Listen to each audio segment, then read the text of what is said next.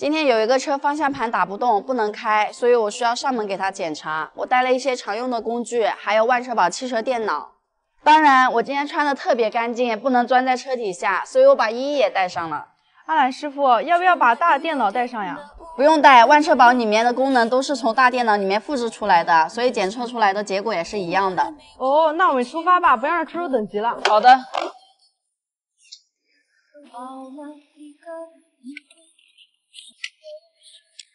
你好，我来给你修车的。你的车是哪一辆？这一辆。你钥匙给我。钥匙我拿钥匙啊。嗯，好。钥匙已经拿到了，现在开门启动一下。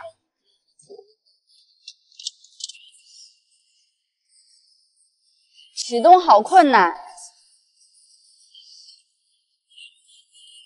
方向盘没有助力，打不动。仪表上还有故障灯，一个是方向盘，一个是侧滑，还有一个是发动机。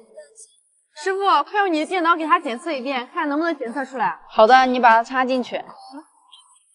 你的脚拿一下，我看不到。哦，看到了，就是这个接口。好了，你来看一下，我故障是检测出来了，那要怎么修呀？这还不简单，直接检查曲轴位置传感器。你趴下去看看，把传感器拆下来检测一下。师傅，我看到问题了，传感器的线破了，应该是被狗咬的。那还能接吗？从插头这里破的，不好接。那你把它拆下来，我去买一根新的。好。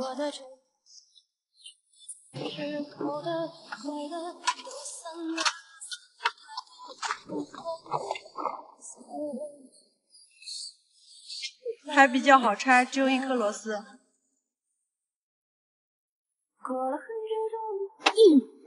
拆下来了，插头和传感器好像是分开的，我要和师傅说一下。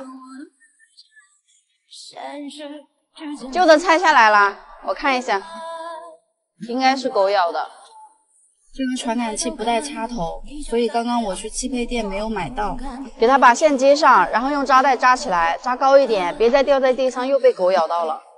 刚刚都怪我没有看清楚，原来这个电线是可以接的，用胶带给它包一下，然后去车底下装螺丝。师傅，装好了。好的，再试一下。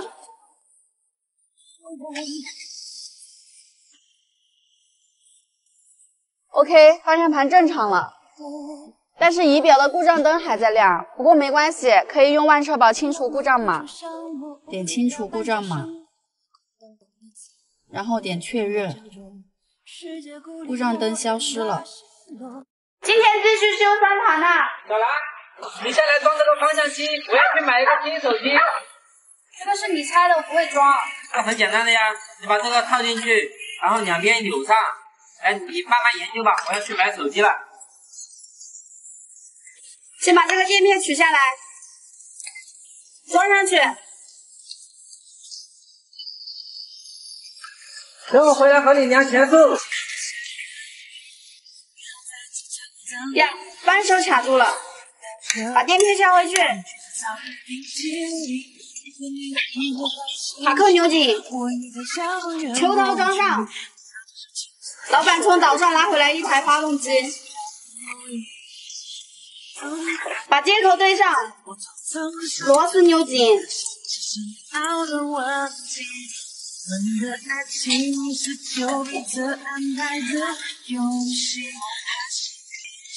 修好了吗？马上好了。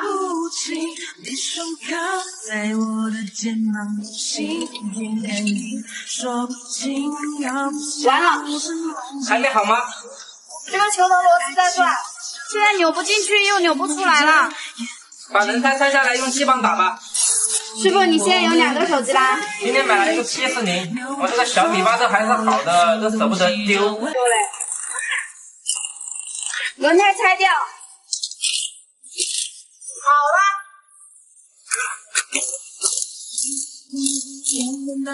师傅，我量全速了。一百五十一，一百五，后面小了，往里面扭一点。可以了，让他去做个私人定位吧。下班了吗？别看我这双脏兮兮的破鞋，油盆子出了两百我都没卖。老板娘给了我一把钥匙，说那个桥下面有一个车要修，这么多车怎么找？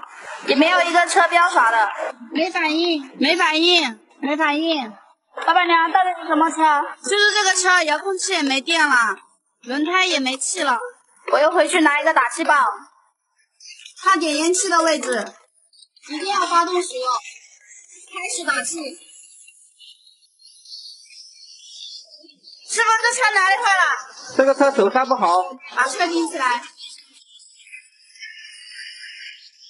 轮胎拆掉，手刹忘记放了，放手刹，使劲敲刹车鼓，敲不出来就扭螺丝，螺丝滑了再继续敲。苍天不负有心人，刹车片都成这个样了，只剩下铁片了。拍个照，怕等会装不上。刹车片拆掉，风棒漏油，手刹线也要换掉，手刹线拉出来，换掉，轴承也坏了，后面四颗螺丝拆掉，套上刹车鼓，使劲敲，把半轴拔出来，往地上倒一下，轴承就出来了。今天要加班，给你们推荐一个离合器片对准器。把工具塞进去，后面这颗螺丝扭紧，扭紧之后刚好在中心位置，原理就和膨胀螺丝是一样的。有了这东西，再也不需要一轴，以后抬变速箱再也不会白费力气了，抬不动掉下来更麻烦。先吃饭吧，打个太阳灯，轴承敲进去。昨天晚上少了一个卡簧，今天继续，半轴装上。组装刹车片，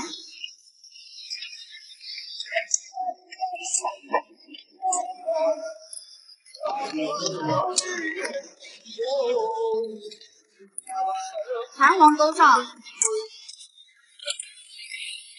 这个刹车是自动调节的，刹车鼓装上，加刹车油换空气，放，再踩，放，好了。手刹太高了，调一下。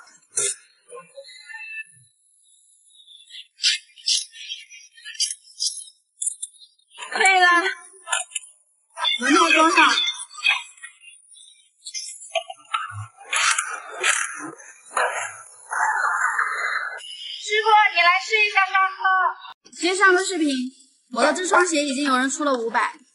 我感觉他们都是骗人的。我们老板两万收了一台一三年的奔腾 B 五零，水箱漏水，发动机抖动。现在开始修发动机抖动。我天呐！故障灯量比较好查，掏出价值五九九的技师盒子，随便找一个这样的接口插上，打开汽修大师，用 OBD 可以免费检测。故障码是气缸二失火，直接把二缸高压线拔出来，插上火花塞。发动一下，不点火，把二缸和四缸对换一下，再发动。看到火花了吗？说明高压线是好的，那就只有一种可能，点火线圈坏了。四、一、三，就是这个东西坏了，一模一样。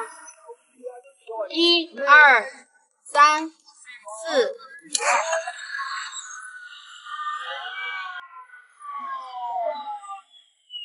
不走了，点个赞呗。故障码还在，清除故障码。师傅，这个车没有油了。这车老板借给我开了，我等会儿去加点油。汽油加满。下水管拔掉，纸箱拿出来。师傅回来啦，下水管装上。师傅正在加汽油，空气滤芯装上，上水管装上。这个管子用来放空气，加防冻液，发动。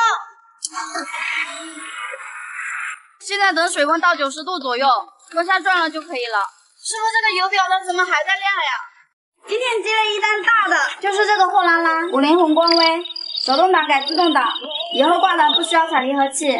先把电机装上，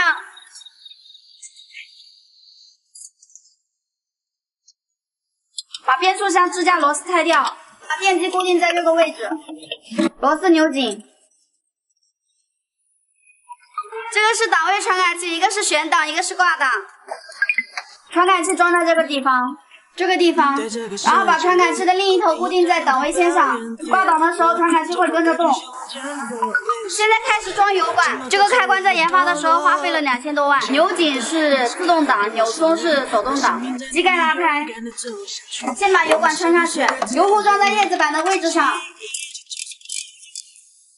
油壶下来的油管插这个位置，再把原来离合器的油管从中间位置断开，和两千万的开关串联在一起，这样手动挡和自动挡都可以用。最后再接上电子棒，呀，先开始走线，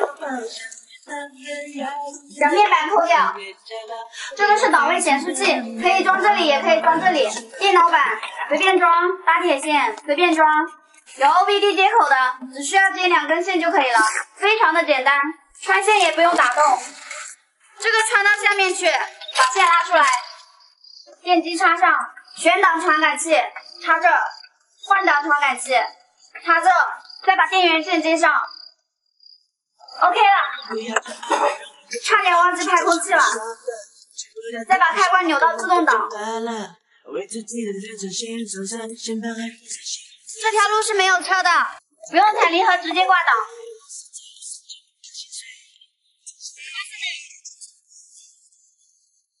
你们都说我把鞋子卖了，没有卖，我只是洗干净了。今天我表嫂要过来修车，表妹帮我换一下刹车片，拿上十字套筒，先把它的轮胎拆下来，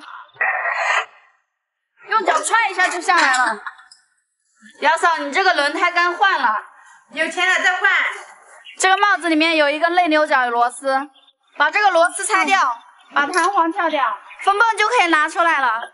再把刹车片取出来。表嫂，你怎么知道你的刹车片没有了呢？踩刹车吱啊吱啊的响。这个是顶刹车风泵的专用工具，螺丝扭紧就可以把活塞顶回去。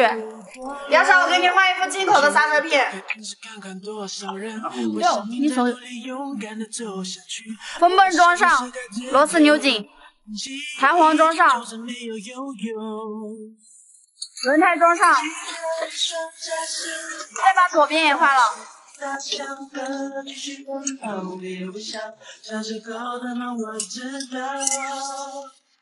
你去踩一下刹车。怎么没有刹车？